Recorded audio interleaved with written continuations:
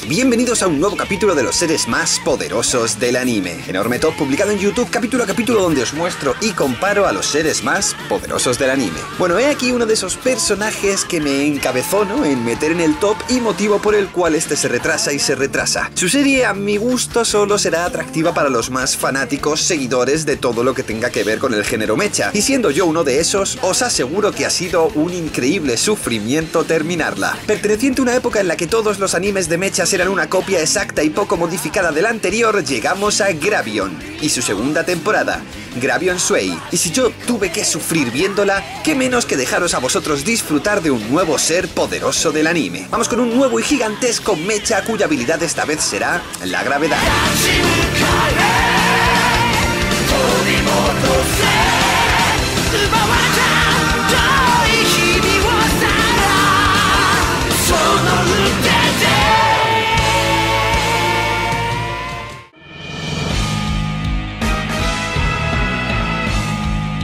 Ultimate Gravion del universo de Gravion es el siguiente integrante en los seres más poderosos del anime. Y Ultimate Gravion es el nombre que recibe la fase final de este poderoso mecha. Y dada la velocidad e increíble habilidad de este para destruir automáticamente a sus enemigos cada vez que obtiene o quiere probar una nueva de sus armas, no existe nada que se le asemeje en fuerza en su universo ni por asomo. Gravion es el nombre de un gigantesco mecha creado por el misterioso superbillonario Sandman, un hombre que vive en un castillo y del que poco se sabe en la sociedad actual. Así era hasta el día que aparecieron unos seres amenazando al mundo, los terribles Serabaya, momento en el que Sandman aparece y presenta el Gravion como el arma que defenderá la tierra de los Serabaya que vayan atacando. Este no será tripulado por una persona, sino por seis de estos. El piloto principal es un chico criado sin sentimientos que no salió en casi toda su vida desde que era pequeño del castillo de Sandman. Resto de pilotos son de manera similar jóvenes chicos y chicas muy cercanas a Sandman y que viven en su castillo. Como añadido especial diré que en este castillo Sandman vive rodeado de cientos de maid lolitas que trabajan para él por amor al arte. Pues bien, ninguno de estos que he mentado es el prota porque Eiji, un chico que busca desesperadamente a su hermana, se ve pilotando una de las partes del Gravion siendo curiosamente el protagonista de la serie pero no el piloto principal. Bien, conocidos sus tripulantes, el Gravion defiende incesantemente a la Tierra contra un enemigo que la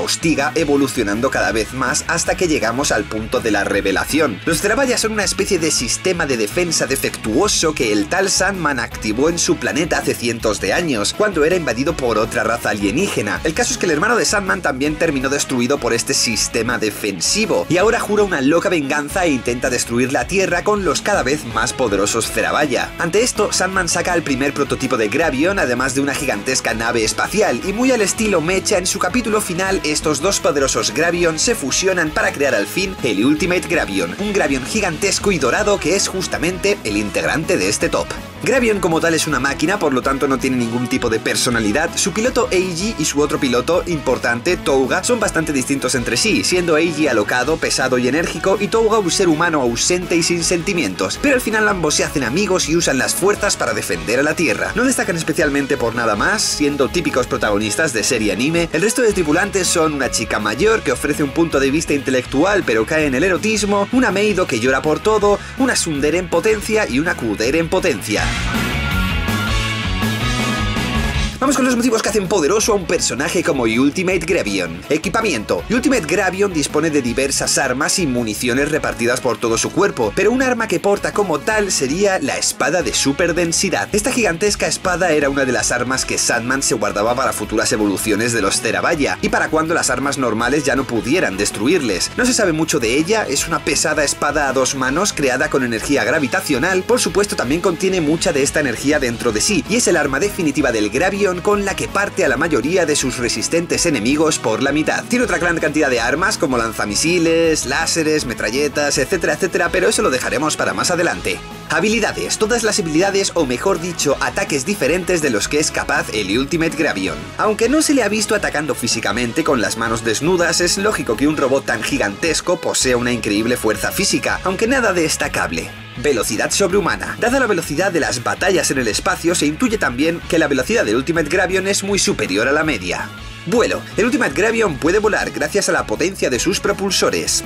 Supervivencia en el espacio. Dado que es un mecha gigante, este puede sobrevivir y pelear sin ningún tipo de problema en el espacio.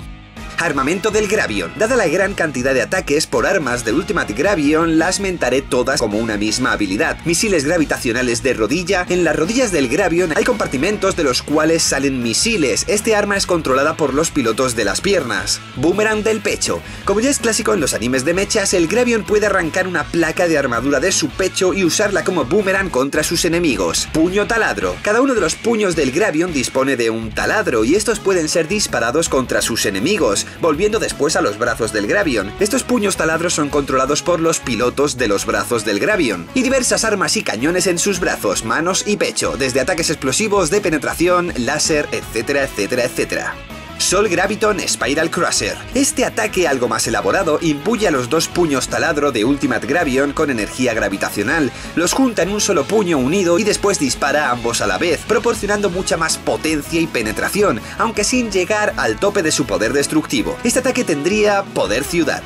Sol Graviton Nova. Utilizando el cañón láser principal de su pecho, el Ultimate Gravion obtiene uno de sus ataques más poderosos. Este láser en su nivel inferior ya es capaz de despejar los cielos y salir hasta el espacio con su potencia, y en este modo su potencia aumenta mucho más. Se calcula, dada su batalla contra el Cerabaya final que tiene la potencia de dos mundos, que está a rango continente. El Storm. Utilizando su espada de superdensidad, aparte de partir a sus enemigos por la mitad con gran facilidad, esta también puede proyectar un poderoso rayo láser. Es este ataque el que acaba con el Cerabaya final, aunque ciertamente este no se estaba defendiendo y había aceptado su derrota. La potencia de este ataque es, pues, capaz de destruir a seres con la resistencia de un planeta. Resistencia. La resistencia del Ultimate Gravion no ha sido comprobada dado que en esta forma no recibe ningún ataque y solo está en ella durante unos dos minutos de la serie. Comparado con sus evoluciones anteriores, Gravion se pasa la serie peleando con seres con el poder de un país, terminando resistiendo ataques de un ser con la energía de dos planetas, por lo que dejemos su resistencia final en planetaria. El Gravion no cuenta con ningún tipo de medida defensiva extra, así como escudos o similares. El Gravion es un mecha gigante, por lo tanto no está vivo, y sus tripulantes son humanos normales, por lo que pueden morir, a excepción de una que al ser artificial es capaz de transferir su mente a otro cuerpo creado para ella. Quitando esto, el Gravion puede ser destruido como cualquier mecha normal y no cuenta con ningún tipo de poder o energía regenerativa. Debilidades. El Ultimate Gravion no tiene ninguna debilidad a simple vista, quizá lo único es el difícil control interno que tiene el mecha, necesitando una cantidad de porcientos de energía de cada piloto, la cual cuesta mucho nivelar y pierde mucha potencia cuando uno de sus pilotos no está o se encuentra inactivo. Vamos con sus poderes especiales y otros datos. Espada del Emperador Solar. Vale, por desgracia, a la forma y Ultimate Gravion solo la vemos durante dos minutos durante toda la serie, lo cual hace que este vídeo sea como otros tantos bastante figurativo. Pero lo que sí que le da tiempo a mostrar es su espada del Emperador Solar. Imagino que esta es justamente su espada de super densidad pero evolucionada al nivel del Ultimate Gravion. Al ocurrir esto se vuelve dorada como su portador y tiene la potencia de atravesar una vez más a seres con resistencia planetaria quitando esa potencia y fuerza física, no destaca por mucho más. Doy al Ultimate Gravion un rango de poder planetario. La verdad es, creo, el más planetario del top, y no me refiero a fuerte, sino que la serie te muestra muy bien cómo sus poderes son, y llegan solo hasta el nivel planetario, y nada más. Eso ayuda a la hora de colocarle bien. Ciertamente a esta forma final no se la ve mucho, y a saber, es posible que llegara más, pero algo me dice que jamás se volverá a saber nada de esta serie, por lo que en esta posición se queda. Por encima de Koyo Akatsuki y su poder a pequeña escala sobre las realidades, pero por debajo del gato cósmico, el cual ha sido más que capaz de salvar el planeta en multitud de ocasiones. Y por cierto, lo llamo el gato cósmico porque su vídeo de los seres más poderosos del anime ya lo han tumbado dos veces.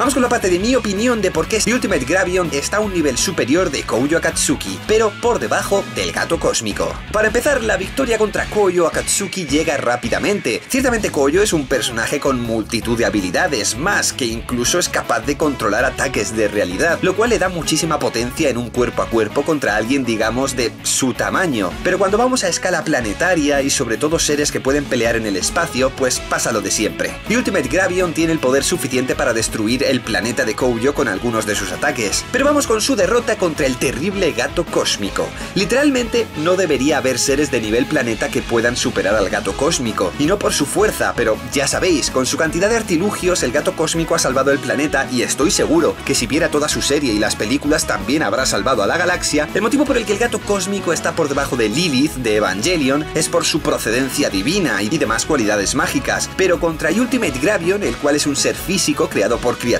y hecho de metal, véase un mecha gigante espacial, este se encuentra dentro del rango de poder de ser afectado por la innumerable cantidad de objetos, técnicas y combinaciones de las que el gato cósmico es capaz. Así que le gana, y con suerte jamás volveremos a escuchar de él. Vale, ya paro con el hate, pero de verdad, sufrí mucho terminándome esta serie. Y con esto termino el nuevo capítulo de los seres más poderosos del anime. Sigo en mi búsqueda y prometo nunca rendirme para encontrar una vez más a los seres poderosos del anime por encima del top. Tened paciencia, yo no dejaré de trabajar en ello. Si el vídeo te gustó no olvides dejar tu like y compartirlo, campanita todas esas cosas que se le pueden hacer al vídeo. Perdonar los capítulos de los seres más poderosos del anime bloqueados o desaparecidos, prometo ir resubiéndolos mientras me peleo con YouTube. Hasta la próxima.